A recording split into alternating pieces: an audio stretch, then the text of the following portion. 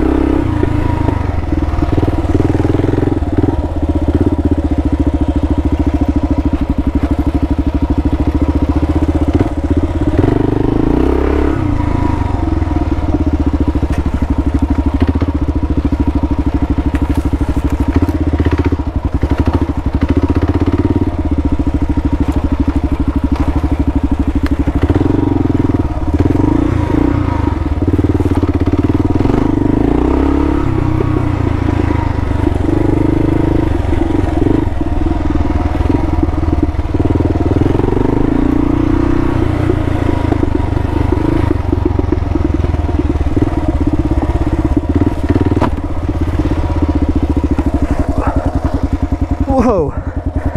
Nailed the freaking right peg somewhere. What the hell was that? Tree stump sticking out. I think I bent the damn bracket.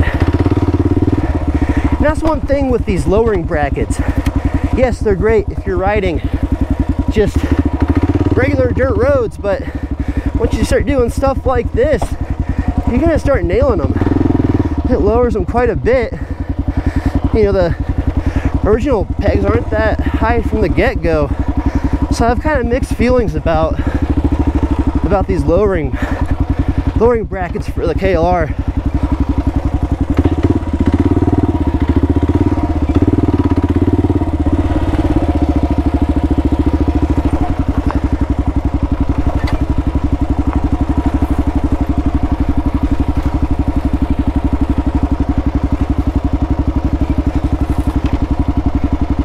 Oh, great.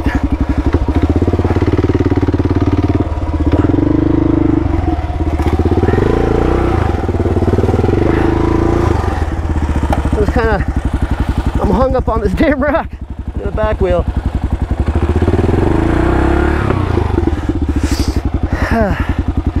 Take a little break, I guess.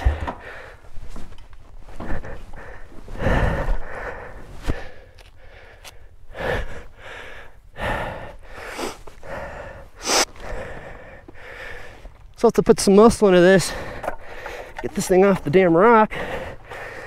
Ay, ay.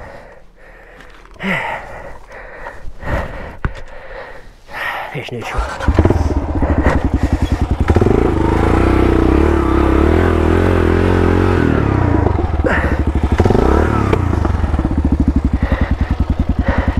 Come on.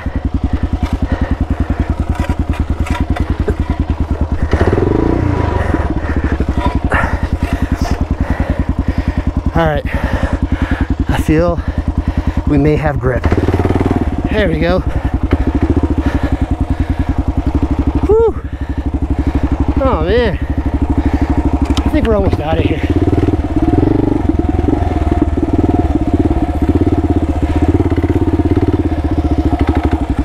Oh, I was looking at that 4Runner to the left. Really noticed that.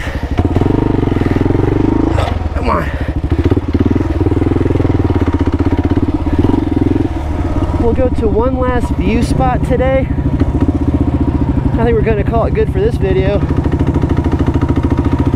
I'm a little wiped out trying to get the